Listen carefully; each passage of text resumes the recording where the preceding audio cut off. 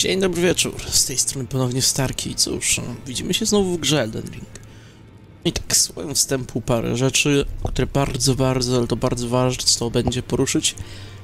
Pomiędzy tym odcinkiem minęło dość sporo czasu, więc a, mówiąc szczerze, nie pamiętam do końca co się działo, jak się działo i tak dalej. Ale tak, będąc szczerym, to jakimś tam totalnie zapominałem, żeby publikować, więc e, dla was to może różnicy czasowej nie będzie prawie żadnej, a dla mnie jest spora. No dobra, mniejsza z tym. E, pierwsza sprawa jest taka, że widzę, że mamy tutaj runy utracone w tym e, zamku cieni. Ale, i to jest ważne, ale nie chcę tam wracać, nie mam zamiaru. Ilekolwiek run by tam leżało, to po to nie pójdę. Oczywiście sobie nie przypominałem, więc... E, yeah. Najlepiej to pewnie nie wygląda. Natomiast to, co pamiętam, to to, że się nazywa. Mamy rapier e, z mrówki, czy coś takiego. Fajna broń, bo nakład jest zgnizny, ale ta ulepszamy ją za kamienie aż do czwórek i niestety zgnizny nie ulepsza się. A wraz z rozwojem. Nie wiem, może gdybyśmy mogli nożyć okultystyczne, to by się okazało, że wtedy da się jakoś to zmodyfikować. Tak czy inaczej zapewne widzieliście też na magu, że go trochę używałem. Jest nawet fajny przeciwko mogowi, ale mimo wszystko mag nadal sobie nie radzi. Co drogą będę musiał znowu z niego siąść, yy, ogarnąć Lendel i tak dalej. Ale mniejsza z tym. Na razie idziemy tutaj do Fii.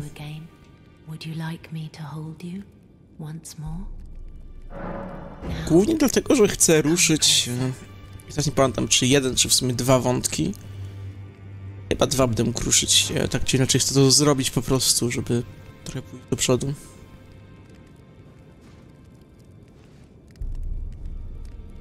You are so very warm.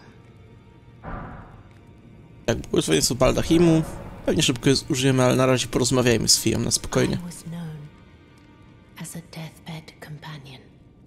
Where I come from, after I received the warmth and lively vigor from a number of champions, I lay with the remains of an exalted noble. To grant him another chance at life. O, To do so is the purpose of my being. powiem szczerze, nie, nie kojarzę tej, the noble tej dialogi, weight of my że tak to. I was awakened by the guidance of grace and chased from my birthplace. Pray, be kind. Despite all that, I still wish to be a deathbed companion. So please, let me hold you like this as often as it takes. Oczywiście.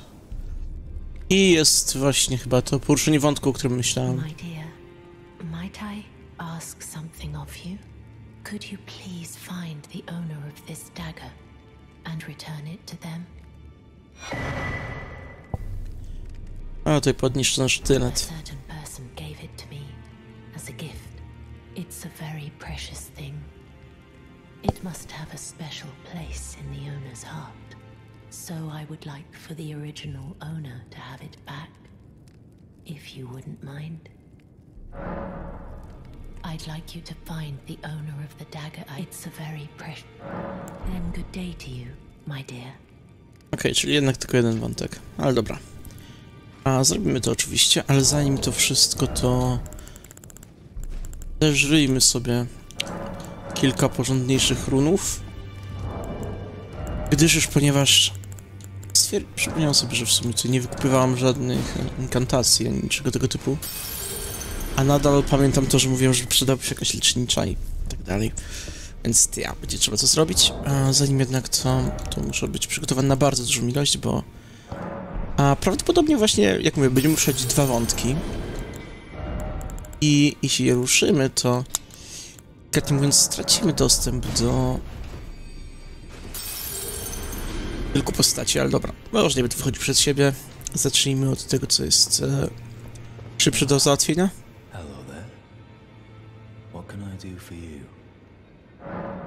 A, tylko chwila, zanim jeszcze to, to pokażę wam opis tego sztylecika, bo jem właśnie sztylet, ten zniszczony się będzie oddawać. Proszę. Mieszanki złota i srebra, lecz teraz jest podniszczony i zaszpecony przez, przez czarną rysę. To jest właśnie taka ciekawostka. Bardzo dobrze s- sugerujący właśnie, że trzeba przyjść do niego. On ma złoto-srebrną zbroję. Mówiąc to, że jest w ogóle wielkotym. I na całe szczęście widzę, że mamy już obie. Będę się swoją drogą podnieść sobie inteligencję, żeby móc tego użyć.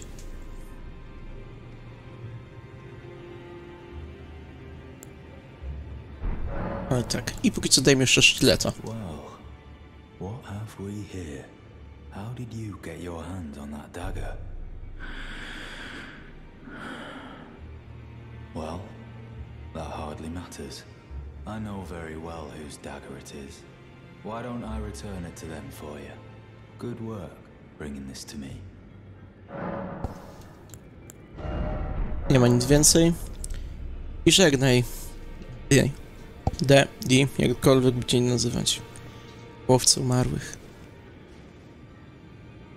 Ah. I've decided to właśnie druga I'm kwestia. off in search of a noble scholar known as the Gold Mask to beg his instruction. We may not meet again for some time. If there's any incantations you wish to learn, now's the moment. Podlewnik zabójcy, dla niego też jest herezją, więc też mu go nie damy. I inkantacje. Proszę, większość wykupiłem, ale szybkie leczenie. Leczenie. I odmowa. Weźmy wszystko.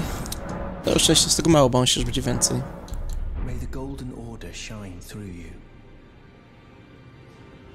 I dobra, mamy to zrobione, więc teraz siadamy przy stole i jak widzicie, znikli. Nie jest też jednak koniec tego wszystkiego, co, co musimy zrobić, bo to jest bardzo ważne. O, tak, tak. Czarny ogień czy w sumie potrzebuję, a dajmy, czemu nie. A jest jeszcze właśnie jedna taka rzecz, która tutaj będzie się działa, tylko zanim to, to jeszcze zarzucamy właśnie wszelkie jakieś bonusy, które mogą się przydać. I tak, czarny płomień jako inkantacja bardzo cenna i przydatna, ale co ogń daje mi siłę, bo. I teraz, kiedy to jest za nami, to możemy pójść jeszcze w jedno miejsce tutaj. Popatrzcie. Otworzyło się nowe miejsce, nowy pokój. Ło. Ciekawe, co tu jest i... Jak widzicie, niby jakaś zbrojownia, niby coś, ale... Jest tu też taki dosyć smutny widok. Oto i. Martwy. Przez efekt tej całej śmie śmierci, czy jakoś tak. Pamiętam jak się nazywa, ale zaraz znajdziemy. Zgnizna i trucizna, nie, krzepa, krwień, skupienie, ceny się zakreśla. Po prostu śmierć. Mamy jego dzwonek kulisty. Okej, tego nie pamiętam. Zobaczymy jeszcze opisa. No i mamy bliźniaczą zbroję. Czyli dosłownie jego zbroję. Um, jednakowość, możliwe, że długo nie będziemy jej mieć ze sobą. I nie ma żadnego opisu. Ale co jest za co innego, można porozmawiać z Fiją.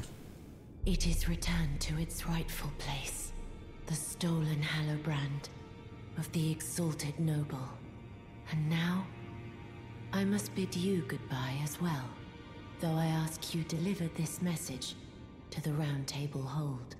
I am Via, deathbed companion, hark Round Table. Disturb not the death of Godwin, the exalted. We who humbly live in death, live in waiting. To one day welcome our Lord. What right does anyone have to object?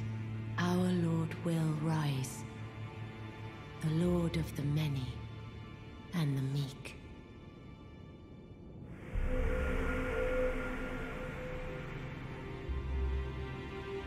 No cóż. Niestety stało się.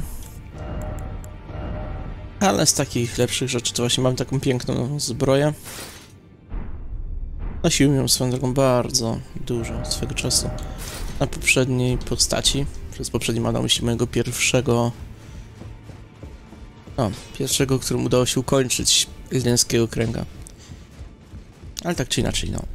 To tyle tutaj tak naprawdę.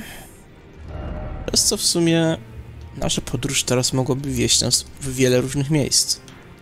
Zaczynając od tutaj, żeby zwiedzać nowe podziemia i może ruszyć wątek rani.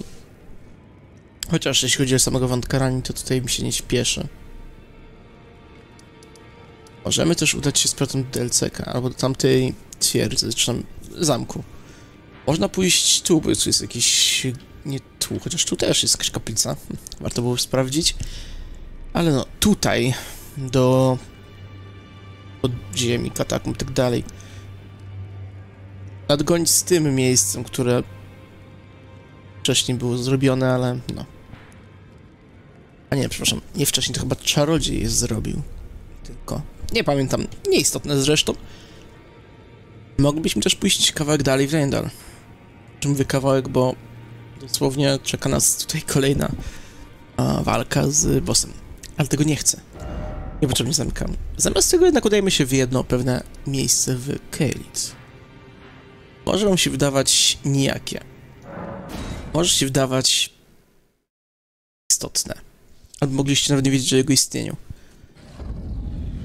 Ale ja wam to zaraz pokażę. Przecież ponieważ jest to grota, o której nie jestem pewien, czy wcześniej ja, chociaż nie, wiedziałem. Właśnie przypomniałem sobie o niej niedawno. Z tą grotą mam pewną bardzo ciekawą historię, tylko muszę znaleźć do niej wejście. Bo będąc szczery, nie pamiętam, gdzie ona konkretnie była tutaj. Jest, tak. Jeśli to jest ta grota, o której myślę oczywiście, bo ostatnio tutaj... E... Po prostu ją zauważyłem. I tak, pieczara w smoczych kurhanach takie tutaj miejsce.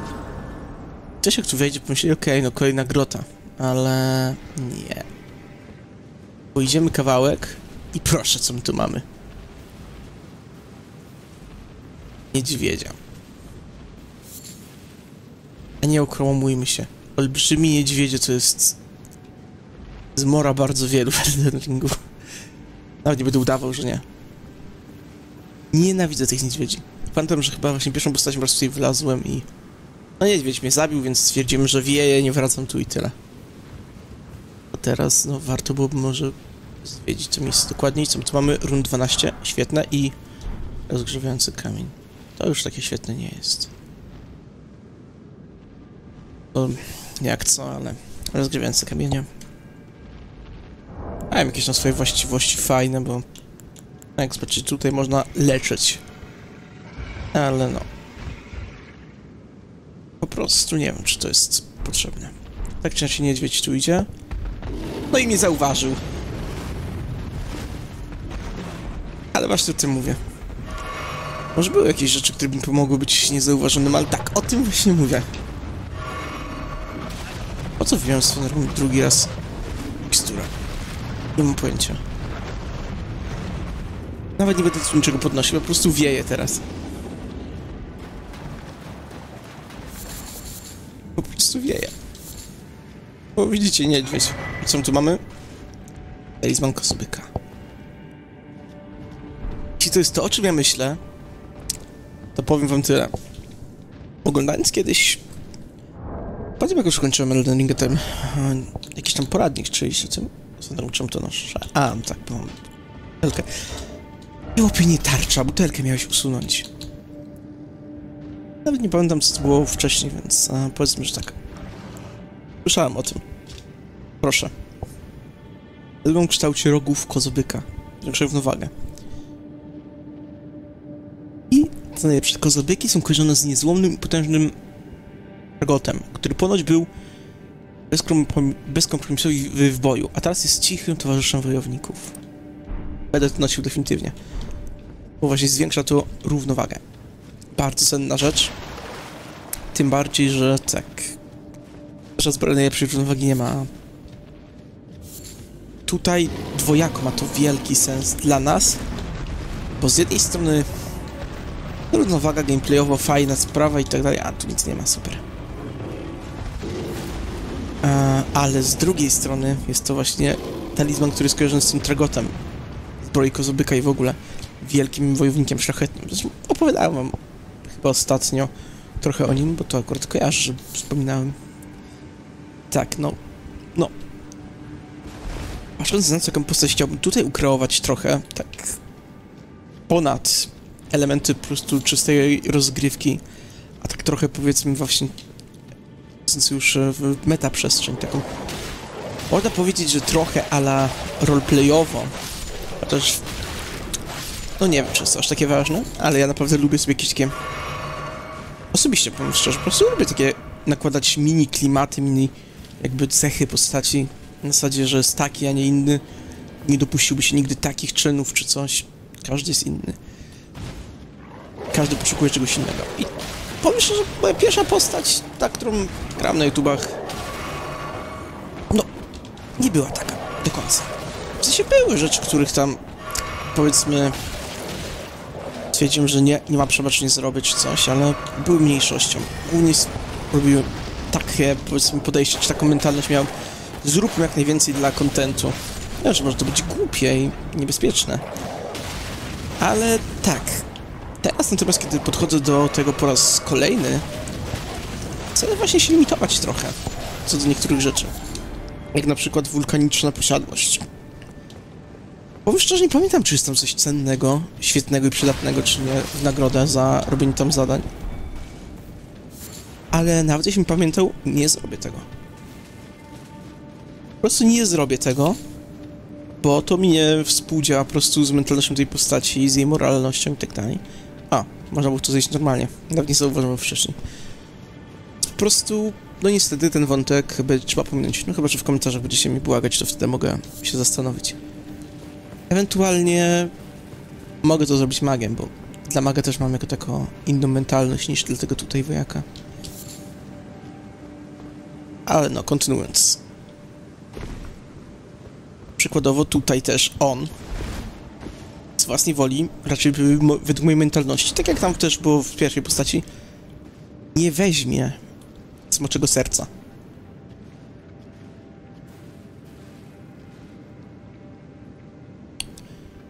Zadanie błyskawicy krwawienia. A Weźmy krwawienie, jak sobie szkodzi.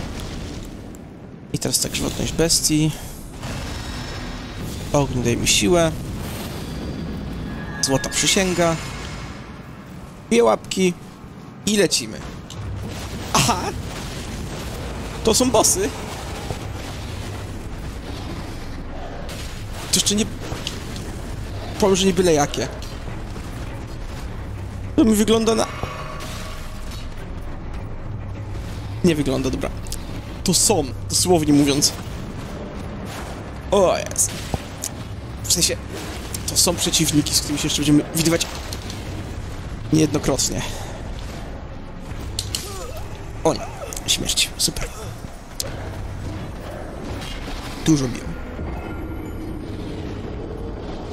Ale tak, będą to przeciwniki, których niestety będziemy niejednokrotnie jeszcze widywać. W szczególności w jednym miejscu. Nie sądziłem, że będę musiał się znowu z nimi spotykać. Czemu? Znowu to wiedziałem, ale nie sądziłem, że tutaj, teraz. Tak czy inaczej, spróbujemy jeszcze raz. Teraz na szczęście była bardzo szybka, to tam nie będę musiał się przejmować niczym. Teraz tak, weźmy tylko pochodnie ze sobą, żeby wilki całe. Omijmy niedźwiedzia. Skoczymy tu. Tutaj. Bez komentarza, naprawdę. Bez komentarza.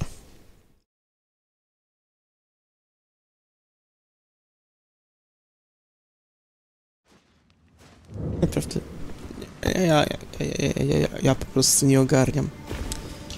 Ogarniam swojej głupoty. No i niestety, trochę runów przepadło.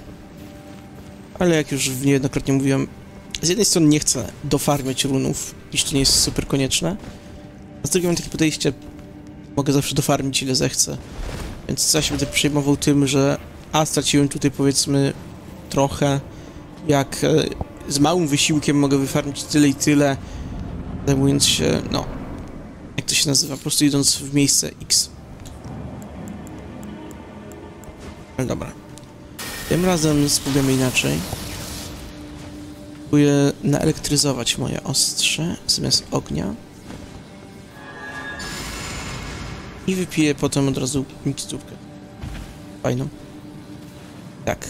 Najpierw musimy wyeliminować tamtego, bo to on ma te jakby nożyki do rzucania, więc będzie mnie irytował bardziej.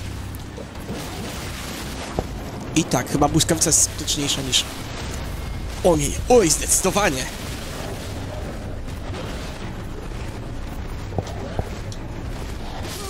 No nie. Okej. Muszę być minimalnie ostrożniejszy, ale jesteśmy w stanie to zrobić. A. Chyba to zrobimy bez problemu. 12 seconds later. No dobra. Spróbujmy ponownie. Tym razem przygotuję się jeszcze lepiej. Bo w sumie mam możliwości. Tutaj. Zauważałem, o dziwo. W takim wypadku tak. Elektryczność oręża. Żywotność. Coś takiego. O. Niestety już więcej man nie mam na czarowanie, więc e, rzućmy sobie jeszcze błogosławieństwo Baldachimu, które na jakiś czas zwiększy nam równowagę z tego co rozumiem, czyli ciężej będzie nas e, zachwiać i tym podobne rzeczy. I zobaczymy jak teraz pójdzie. A. Może gdybym nie poszedł w jakieś konkretne miejsce, udałoby się nie sprowokować tego tutaj z tasakiem. Fajnie by było, gdybym naprawdę jakimś tym uniknął prowokowania go. Ale tak, e, skupmy się na nożach do rzucania jednak. Jeśli go pokonamy, tasak będzie dużo mniejszym problemem. To mogę wam zagwarantować. Bo ten z tasakiem, okej, bije, ale umiem go unikać. I mam pewność, że nie będę miał żadnych dodatkowych rozproszeń, więc tak.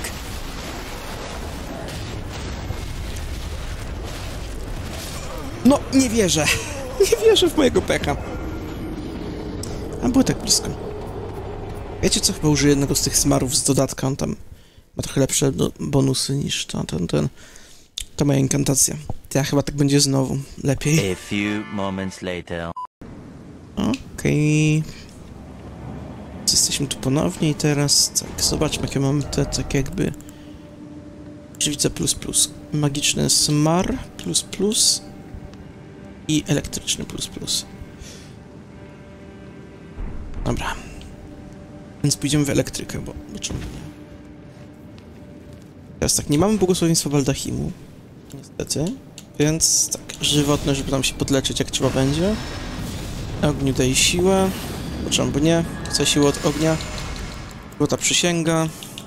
Smar pieruna ze smoków. I lecimy. Nie wiem, czy jest jakaś odczuwalna więc, wię, więcej różnica, czy nie, ale... Przynajmniej nie będę mógł sobie zarzucić, że się nie przygotowałem najlepiej jak mogę. A, zapomniałem jeszcze o butelce, no tak. A butelka cudownego eliksiru no, ma jakieś tam też bonusy, więc no, przydałoby się, żebym to też zrobił.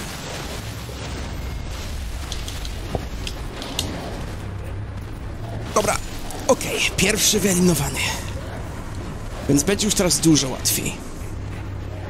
Wypij mi tak butelkę ton. I cudowny eliksir, czy niesamowity eliksir, jak zwał, tak zwał.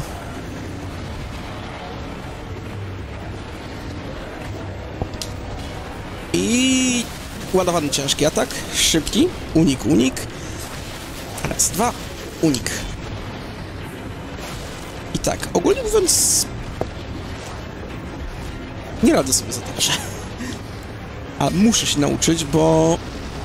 Jak sama nazwa mówi, człowiek bestia z farm Azura to człowiek bestia z farm Azura. Z farm Azuli. Ale tak, e, nieistotne. Wiem, że może wielu wam nic nie mówić, ale jest to tak delikatnie mówiąc e, miejsce, do którego będziemy później musieli iść. Okej, czyli wiem, że nie mogę przyjąć wszystkich ciosów na tarczę. Ale jak robi ten cios, to mogę. Okej, będzie robił jakieś teraz groźniejsze machnięcia pewnie, więc e, na spokojnie gwiazdoklucz. Szczerze? Powiem, że im dłużej walczę tą, tą samą damą, tym lepiej uważam ten miecz za potężny. Może nawet za potężny momentami, ale świetny. O, kamienie weszło. Jak fajnie.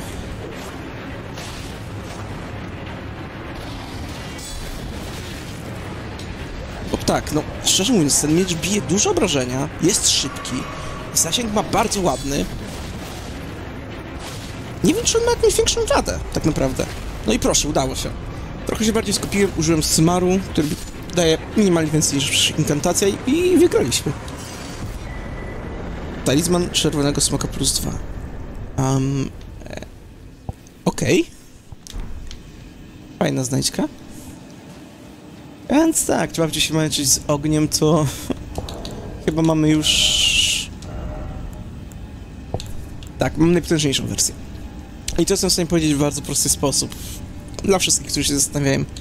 Em, nie pamiętam dokładnie, jakie są, jak to jest z plusami, ale widząc e, Talisman Czerwonego Smoka pierwszy i plus dwa, wiem, że to jest finalna wersja, bo pamiętam, że najpotężniejsze wersje a poza fizycznym talizmanem, to z- od razu wam powiem, właśnie wyglądały tak jak tarczka z trzema symbolami.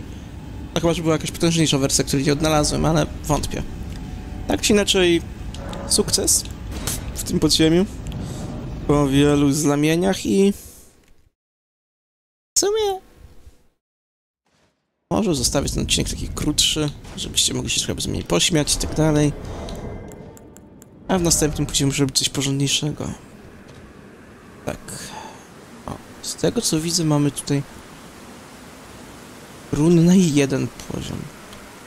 To czy jest coś sensownego, co mógłbym teraz brać? To, że nie wiem. Tak, chciałem się dajcie znać w komentarzach, jeśli macie jakieś sugestie, pomysły. Chcecie się ze mnie pośmiać, chcecie mi, mnie wybłagać, żebym coś zrobił. I tak, w sumie jeszcze co sobie przypomniałem, jeśli ktokolwiek z was naprawdę ten odcinek oglądał, proszę napiszcie też, co mam zrobić z Milsantą. Bo jak mówię, ja tu chcę trochę roleplayować, rozgrywać postać w jakimś konkretnym charakterze. Ale powiedzmy, że jeśli chodzi o kwestię Milcenty, to jestem taki trochę bardziej neutralnie nastawiony e, do tej decyzji z prostego powodu. Jej los tak naprawdę kończy się w podobny sposób, nieważne, którą decyzję podejmiemy. To jest tylko kwestia tego, co my zrobimy.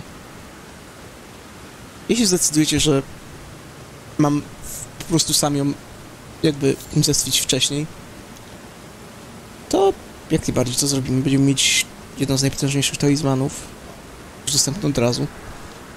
Jeśli stwierdzicie nie, zostaw biedną dziewczynę, okej, zrobimy jej wątek, zdobędziemy ten drugi talizman, który jest równie potężny, ale nie aż tak OP.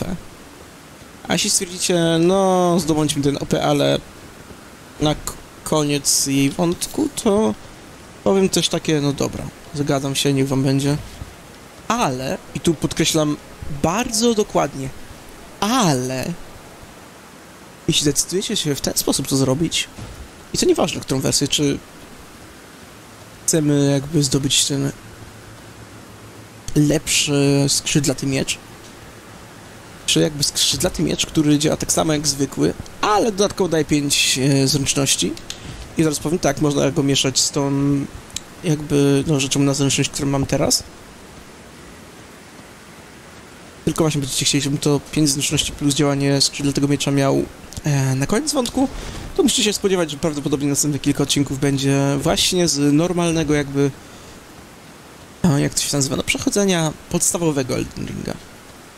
Głównie dlatego, że nie mam zamiaru tak e, odpuścić okazji, tak najłatwiej to chyba powiedzieć, na to, żeby móc, e, no, jak najszybciej zdobyć jeden z tych talizmanów.